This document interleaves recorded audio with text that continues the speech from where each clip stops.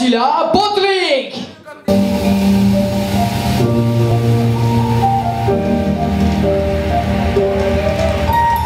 Once I was seven years old, my mama told me, Go make yourself some friends or you'll be lonely. Once I was seven years old.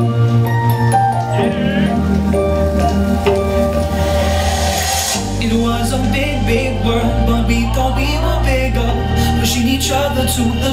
we were learning quicker. By 11, smoking herb and drinking burning liquor.